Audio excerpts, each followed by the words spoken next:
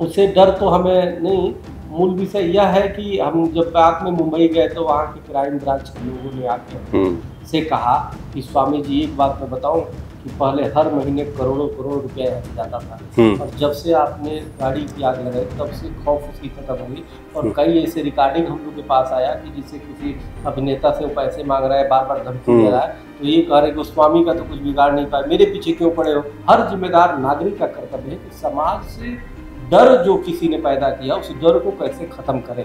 ये बहुत बड़ा कार्य होता है। और ये बहुत वो होता है। इसीलिए मेरा जो उद्देश्य जो अपने आश्रम को छोड़ना सब कुछ छोड़ना घर छोड़ना ये था यही था कि राष्ट्र के लिए कुछ करे तो गिलहरी के रूप में अगर जो कुछ ऐसे हो जाता है तो ठीक ही है।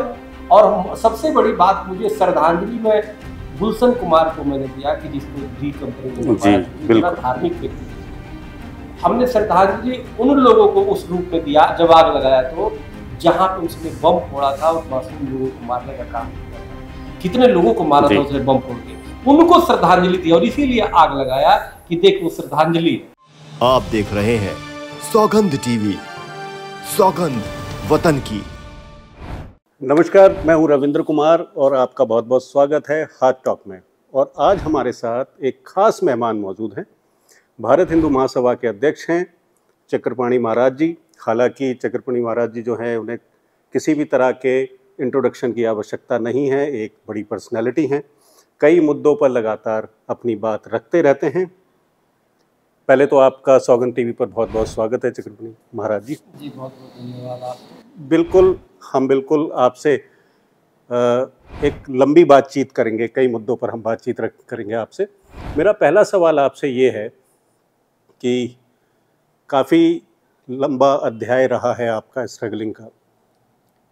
वो दौर था जब एक डॉन के खिलाफ, और उसमें बिल्कुल नाम लेने में बिल्कुल मुझे कोई परहेज नहीं होता, उसके खिलाफ आपने, दाऊद के खिलाफ मुहिम छेड़ी, उसकी गाड़ी को आग भी लगाया। शुरुआत कैसे हुई? आप अपने बारे में पहले वहाँ से बताइए, फिर और तो और बहत्तर हो रहे हैं अजमेर और नसरुद्दीन साहब वो दुनिया भर की तमाम बातें हम करेंगे। लेकिन पहले मैं अपने दर्शकों को आपके बारे में आपकी कहानी मैं बताना चाहता हूँ कि चक्रपणी जो महाराज हैं वो किस तरीके से महाराज बने इस क्षेत्र में सनातन धर्म के लिए काम कर रहे हैं। वहाँ से आप अपनी कहानी बताइए हमें। देखिए मेरा जन्म तीन नवंबर 1975 को हुआ। जी। दीपावली का दिन था। और उसके बाद बलिया उत्तर प्रदेश के बलिया जिला जी। कायस्थ परिवार में जन्म हुआ था। आ, लेकिन हमारा घर का पृष्ठभूमि बहुत सनातनी था बिल्कुल धार्मिक माता पिताजी पिताजी रेलवे में थे और अ, हमारी चार बड़ी बहनें दो भाइयों में सबसे छोटा मैं था। तो लेकिन मेरा झुकाव हमेशा से ये था कि सनातन धर्म के उत्थान कैसे हो राष्ट्र के प्रति राष्ट्र के लिए कुछ किया जाए। तो उसके लिए और एक धार्मिक पृष्ठभूमि घर का था ही और अनेक राष्ट्रवादी संगठन उस समय मुझे याद है कि आ, एक हिंदू युवा मंच था उसका भी मैं अध्यक्ष था। तो हिंदुत्व की विचारधारा शुरू से थी कि हिंदुओं के लिए कुछ करना है कुछ करना है। और हाँ सनातन को और राष्ट्र के लिए कुछ करना है। तो इस तरह करते हुए पढ़ाई भी करता रहा ग्रेजुएशन भी मैंने किया। ग्रेजुएशन यूपी से ही की हाँ आपने? यूपी से मैंने किया बी थर्ड ईयर करके। किस कॉलेज से की आपने? डिग्री कॉलेज बलिया में था। जी। तो वहाँ से मैंने ग्रेजुएशन करके और अंठानवे या निन्यानवे में मैं दिल्ली आ गया। जी ऐसे बहुत सारे लोग कहते हैं कि जो सनातन धर्म का जो झंडा बुलंद करते हैं ये वो कम पढ़े लिखे होते हैं ये भी अ, एक अच्छी बात है कि जो तो नहीं हमारा तो कायस्थ परिवार में जन्म तो स्वाभाविक है कायस्थ परिवार में तो बहुत पढ़ने वाले जी हैं। जी। और हमारे तो यहाँ सब पढ़ने वाले हमारे दादाजी वहाँ के भैया के बहुत फ़ेमस स्वतंत्रता सेनानी थे जी। चंद्रिका प्रसाद जी स्वतंत्रता संग्राम उन्नीस सौ बयालीस के क्रांतिकारी थे। तो अब उसके बाद लेकिन मैं यहाँ चला आया। यहाँ आने के बाद पूज्य शंकराचार्य जी थे माधवाश्रम जी। और हम लोग मिल करके गोरक्षा के लिए पूरे देश में भ्रमण किए। और उसी समय हमने पूरी तरह घर का भी परित्याग कर दिया साधु ग्रहण कर लिए उदासी न्याय संप्रदाय के। स्वामी जनार्दन देव जी थे उनके साथ हम गोरक्षा महाभियान समिति थे और हम लोग वो करने लगे। तो पूरा हमारा नाम वैसे जब वो ग्रहण कर लिया तो मेरा नाम स्वामी चक्रपाणी देव जी महाराज था। जी। तो मैंने कहा महाराज जी से कि हम देव ही है कि दानव है। कि समाज तय करेगा महाराज जी। जी। मैं तो स्वामी भी नहीं लगाता था चक्रपाणी। तो उन्होंने कहा नहीं नहीं स्वामी तो लगाइए। हमने कहा देव हूँ कि दानव है समाज मेरे कर्मों के द्वारा तय करेगा। अपने नाम से क्यों तो अ, चक्रपाणी जी इससे पहले क्या नाम था? उसके पहले मेरा राजेश श्रीवास्तव था। जी। तो लेकिन मैं बाद में जब होता हुआ तो भारतीय करने लगा। जी। जी। के नाम जी। तो फिर मेरा ये हो गया। फिर उसके बाद पूज्य शंकराचार्य जी से माधवाश्रम जी बड़े मानते थे। और हम लोग गोरक्षा 2001 में रामलीला मैदान में बहुत बड़ा गोरक्षा सम्मेलन कराया। फिर उसके बाद करते करते फिर दो हज़ार तीन दो में मैं सेवा योग आश्रम वजीराबाद में एक स्थापना किया। और वहाँ मेरा बड़ा आश्रम था काफ़ी। और पटना का मैं पीठाधीश्वर बना जो अपना है अभी भी है बाबा मठ लेकिन मुझे मठ आश्रम में उतना रुचि नहीं रहा क्योंकि मैं वहाँ देखता था कि गुरु शिष्य और हमें भगवान की तरफ़ पूछ तो रहे हो लेकिन राष्ट्र कहाँ जा रहा है ये मेरी बड़ी ये एक बड़ा हाँ क्योंकि हम अपने ही पूजा कराने में चले आए जो भारत माता की पूजा उसको कौन करेगा? जी। तो इस पे मुझे बड़ा अभी भी मेरा पटना में आश्रम है जहाँ का पीठाधीश्वर जी। हूँ। लेकिन सब मैंने दायित्व कई आश्रम अपने छोड़ दिए। और इससे हिंदू आश्रम से मैं जुड़ा हुआ था। ये दाऊद की गाड़ी खरीदने का विचार कहाँ से हाँ आया मैं वही आ पा रहा हूँ। फिर आ, क्या हुआ कि आ, मैं जो है पटना वाला भी मैंने महाराज से कहा कि महाराज देखिए मैं समय नहीं दे पा रहा हूँ। एक तो शरीर में हूँ मैं विवाह शादी तो किया नहीं। और मैं राष्ट्र के लिए पूरी तरह समर्पित होना चाहता हूँ। अगर मठ मंदिर में रह जाएँगे तो हालात देखिए क्या मैं एक मठ बनाऊँगा। हम्म। और फिर देश को तो पूरे जिहादी हम्म। कब्जे करने में लगे पड़े हैं। तो हम उसकी आवाज़ उठाना चाहते हैं। तो उन्होंने भी बात को समझा कि हाँ नहीं ठीक है। तो अभी भी वहाँ पे है और लेकिन मेरा कम। और वजीराबाद और तो कई जगह आश्रम पे सब मैंने छोड़ दिया। लोग तो आश्रम कब्जा करते हैं मैंने अपने आश्रम सिम गाँव वालों को दे दिया कि आप लोग चलाओ। और यहाँ पे मैं धर्माचार्य प्रमुख था पहले थे जो। कि दिनेश चंद त्यागी हमारे माननीय पूर्व राष्ट्रीय अध्यक्ष थे नहीं रहे तो धर्माचार्य प्रमुख था। फिर यहाँ पे कार्यकारी अध्यक्ष भी रहा। और 2006 में मैं इसका राष्ट्रीय अध्यक्ष हो गया। जब हिंदू महासभा का हिंदू पूरे। देश का हाँ 2006 में। सबसे कम उम्र का मैं राष्ट्रीय अध्यक्ष यहाँ पे। तीसरे राष्ट्रीय अध्यक्ष के रूप में हुआ। जी। उसके बाद अनेक कार्य किया और जैसे अफजल गुरु को फांसी वाली थी उसने किया था। उसके भी मांग किया कि हम इसको फांसी की सजा हुआ हुआ। अब दाऊद की अब बारी आती है। दाऊद में क्या हुआ एक बार हम लोग टीवी देख रहे थे तो आया कि भाई दाऊद की नीलामी है उसकी। और उसने जो लेने वाले एक पत्रकार थे आप ही की तरह राष्ट्रवादी पत्रकार थे उन भी लेना चाहते थे उनको धमकी आ गया कि तू लेगा तो गोली मार देंगे। हम्म। तो मैंने उन पत्रकार को फ़ोन किया कि हम्म। भाई चिंता ना करो और जो सामान लेना डरना मत। हम्म। और ये तो गुंडे बदमाश है अगर कोई भी समस्या होगी हम लोग बैठे। तो उन्होंने कहा कि स्वामी जी दूर से तो शहर व्यक्ति बोल देता है। हमें चलिए खुशी है कि आपने किया लेकिन ऐसे लिप सर्विस सभी लोग कर देते हैं। लेकिन आता कोई नहीं है। अगर आप आते मुंबई तो समझ में आता। मुझे तो बात लगी और दो दिन बाकी था तीन दिन। तो हमने कहा चलिए मैं देखता हूँ अगर टिकट फ़्लाइट का मिल जाता है तो मैं आ जाऊँगा। हम्म। सोचा तो नहीं था। तो उसके बाद मैंने अपने महामंत्री को बोला डॉक्टर इंदिरा तिवारी जी है बहुत तेज तरह है। मैंने कहा देखो टिकट मिल रहा है तो तुरंत फ़्लाइट का टिकट मिल गया संजोग से दूसरे दिन का। सुबह ही दूसरे दिन हम हम और डॉक्टर इंदिरा जी चले गए। वहाँ गए तो उनसे मैंने बोला हम लोग आ गए उनको भी बड़ा आश्चर्य हुआ मेरी स्वामी जी तो आ हम्म, गए। हम्म। अच्छा उस समय भी नाम था ही टीवी में चलते थे हम तो डिबेट तो हम तो टीवी पे काफ़ी समय से आ रहे हैं हर विषय पे गोरक्षा केंद्रीय कानून और वो सक्रिय रहते थे। तो अब वो देखे कि आ गए वहाँ मीडिया भी देखी कि हम आ गए 2015 का मामला है। हम्म। तो अब जो है मामला वो हो गया। तो हमने उन्होंने कहा कि आप आ तो गए लेकिन अंदर तो हम ही रहेंगे ना। हम्म। तो हमने महामंत्री से कहा कि देखो कुछ और भी नीलामी है क्या अंदर? तो हम्म। उन्होंने सर्च किया तो देखा कि एक गाड़ी है दाऊद की पुरानी। उसको कोई लेने वाला था भी नहीं कबाड़ा था। जी। वो तो होटल ले रहे थे वो पैसे उसमें हाँ। थे। तो एक बोले कि एक गाड़ी तो है पुराना है वो कबाड़ी वाले लेंगे। तो वो है। तो हमने कहा ले लो हम बोलिए हमारे नाम पे वो करो मैं अंदर घुसने के लिए तो मिल जाएगा कम से कम उसको कोई धमकी तो नहीं देगा हम्म। उस पत्रकार की रक्षा करनी है। हम्म। तो मैंने उसको कहा अपने नाम से भरवा दिया हम्म। और हमारे हो गया। और मैं अंदर गया तो छह नंबर वो पड़ा। मैंने कहा भाई छह नंबर देखो मिला चक्का मार के भी आ रहा हूँ तो मेरा अपनी स्टाइल अपनी तरीके सब पे होते हैं। तो अब वो मैटर बहुत हाईलाइट हो गया। हाँ। अब अंदर में गया तो मैं वो करके उसको लेना ही था वो कबाड़ा जो है ले लिया। जब बाहर आया तो मैंने कुछ सोचा ऐसा नहीं था। अब देखिए कैसे जो सिचुएशन बता रहा हूँ दूसरे के लिए जा रहा हूँ और खुद मैं वो तो गौड़ हो गया मामला। हाँ, अच्छा वो उनको बल्कि पास में ही बैठा था। मैंने कहा तू भी ले लो जो लोगे अंतिम जो किस्त होगा उसका दस परसेंट हम अपनी हम अपनी तरफ़ से देते हैं। देंगे सहयोग ये मेरा वचन है। तो खैर आप जब मैं गाड़ी ले लिए लेके जब बाहर में आया उन लोगों ने कहा स्वामी जी आपने ले लिया एक अभी पार्टी है सरकार की तरफ़ से ही निगाह में था हम्म। तो हमने कहा नहीं भोजन वोजन तो नहीं रहूँगा मैं जाऊँगा क्योंकि शाम को फ़्लाइट है। जब बाहर निकला देखा खूब मीडिया हो तो बाहर खड़ी है मेरे लिए। ही हम्म, हमने कहा जी तो बोले स्वामी जी आपने ले लिया अब करेंगे क्या? तो हमने कहा देखो इस गाड़ी को करेंगे क्या? जहाँ पे बम फोड़ा था दाऊद ने हम्म, वहाँ पे इसको एंबुलेंस के रूप में चलवा देंगे। हम्म, तो उन्होंने पत्रकारों ने कहा ये ये कहाँ से एंबुलेंस बनेगा? ये तो कभी तीस साल पुरानी गाड़ी चालीस साल पुरानी गाड़ी है। हम्म, और पंद्रह साल या बीस साल छूट होता है रोड पे। मैंने कहा बात तो सही है। मैंने कहा ठीक है अब इसको ऐसा करेंगे आतंकवाद के रूप में दाऊद की फ़ोटो लगा के इसको आग लगा देंगे। झट से तुरंत मुँह से निकला कि मैं आग लगा दूँगा। तो अब वो एंबुलेंस वाला तो हाईलाइट नहीं वो आग लगाने वाला हाईलाइट हो गया। अब जैसे ही हुआ तुरंत मेरी आप देखिए कितना इनका सर्कल तेज है हम्म। डी कंपनी का कि मेरे को मैसेज आ गया।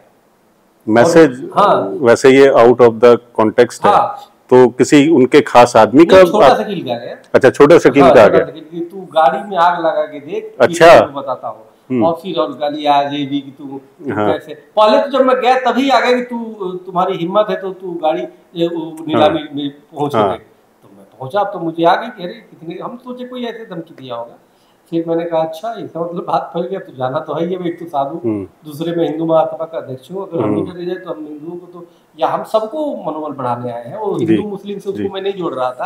हम्म। हम उससे जोड़ रहे थे आतंकी के रूप में। दहशतगर्द के रूप में। और मैंने गाड़ी बोल के चला आया गया तो फिर बार बार धमकी उसका है हम्म, कि तू छू के उस गाड़ी को खाली दिखा दे। मैंने कहा बेटा छूऊँगा नहीं अब तो जलाऊँगा। जो हम्म। बोल दिया। फिर मैंने कमिश्नर को फ़ोन किया कि भाई वहाँ के कमिश्नर को भाई हाँ? बैठा हूँ हम्म, तो फिर उसके बाद मैंने कहा कि भाई चलो देखता हूँ। उसको जो है मैंने कमिश्नर को कहा कि भाई उसको मुझे वहाँ पे आग लगा दी। मैं सोचा वही निपटा दूँ। हम्म। उन्होंने कहा नहीं नहीं लाइट डाटा बिगड़ जाएगा और यहाँ कोई ऐसी चीज़ें नहीं हम्म, यहाँ से कहा तो ये सब भी वो हो गया गाड़ी है कहाँ? वो हम्म। जब्त करने के लिए मैंने कहा बहुत सिचुएशन है जी भाई हाँ। अब मुझे लगाना है अब लेऊँगा तो कुछ तो करूँगा ना। नहीं तो, तो जीत उसकी हो जाएगी। फिर मैंने कहा कि चलो ठीक है वहाँ से मैं जाके खुद अपने लोगों को भेजा हम्म। गाड़ी उठवा लिया। ट्रक में लदवा ले सभी प्रक्रिया पूरा करके उसकी हम्म। गाड़ी की जितनी लीगल प्रक्रिया होती है पैसे दे के वो करके उस गाड़ी को सरेंडर करके जो नंबर हम्म। प्लेट हम्म। सरेंडर किया जाता है सिर्फ़ कबाड़ा उसका उठवाया प्रतीकात्मक और ले करके मैं ट्रक से लदवा करके यहाँ लेके आया। एक दिन पहले गाजियाबाद में इंदिरापुरम में मैंने एक, एक हमारा शिष्य का वो था फार्म मैंने कहा बेटा यहीं लगा दे। बोला हाँ गुरु जी यही करते हैं। हमने तुम चीता सजाओ शाम को मैं रात को आऊँगा दूसरे दिन आग लगा देंगे। और फिर बताएँगे किसी को हाँ लेकिन वो भी लीगल कार्रवाई किया मैंने कहा थाने में ज़रूर देते ज़रूर। हाँ।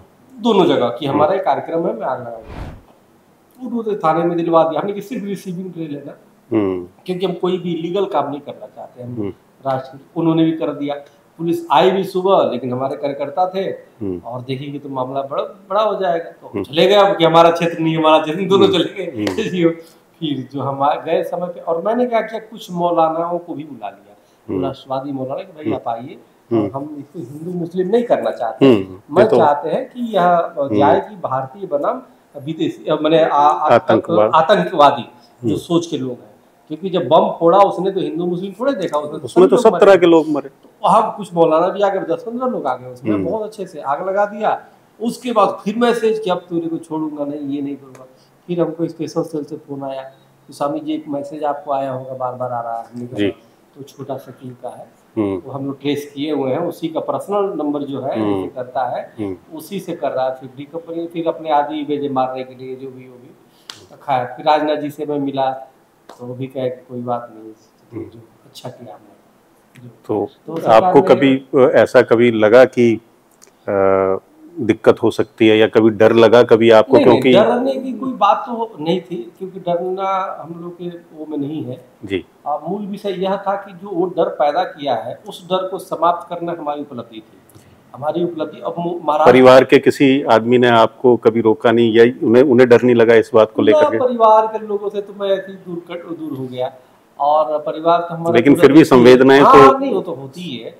वो तो पकड़े भी गए थे ना वो तो। वो तो सुपारी लेके हमें सर्च कर रहे थे वो हम्म। पिस्टल उस्टल के साथ ही पकड़े गए थे तीन दो दो बार बल्कि उसने हम्म। प्रयास किया हम्म। कंपनी में छोटा सा जेल में तो लेकिन उसे डर तो हमें नहीं मूल विषय यह है कि हम जब रात में मुंबई गए तो वहाँ के क्राइम ब्रांच के लोगों ने आके हम हम्म, से कहा कि स्वामी जी एक बात मैं बताऊँ कि पहले हर महीने करोड़ों करोड़ रुपया यहाँ से जाता था। हम्म, और जब से आपने गाड़ी की आग लगाई तब से खौफ उसकी खत्म हो गई। और कई ऐसे रिकॉर्डिंग हम लोग के पास आया कि जिससे किसी अभिनेता से वो पैसे मांग रहा है बार बार धमकी दे रहा है तो ये कह रहे कि उस स्वामी का तो कुछ बिगाड़ नहीं पाया। मेरे पीछे क्यों पड़े हो? आपका तो आग भी लगा दिया। तो उससे कहता था उसको भी मारेंगे चाले तेरे को भी मारेंगे। और धीरे धीरे लोगों में भय खत्म हो जाता है ना। और मैंने भी चैलेंज कर दिया बोले तू बाल उखाड़ ले मेरा हम्म। कुछ नहीं करेगा। अब चूँकि वहाँ से लाके कई प्रदेश पार करके फिर यहाँ आग लगाना। हम्म, तो अब उसको ज़्यादा ही हो गया।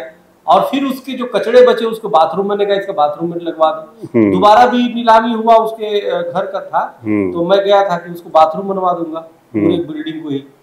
तो लेकिन वो महँगा ज़्यादा था फिर हमने कहा इतने बाथरूम का क्या बनवा? फिर उससे तो मेरे कहने का मतलब उस, उसको तो डर ये लगने लगा कि जिस प्रॉपर्टी का कोई आता नहीं था लेने अब उसके खोल लोग आने लगे लेने। उसकी हर चीज़ नीलामी हो गई। तो उसकी मैंने अंडरवियर तक नीलामी में सब खत्म हो गया। तो ये चीज़ें था। मेन बात है कोई जाता ही नहीं था। डर को खत्म हाँ, करना, वो डर खत्म करना उद्देश्य और हर समाज के जिम्मेदार व्यक्ति का एक कर्तव्य है। हर जिम्मेदार नागरिक का कर्तव्य है कि समाज से डर जो किसी ने पैदा किया उस डर को कैसे खत्म करें?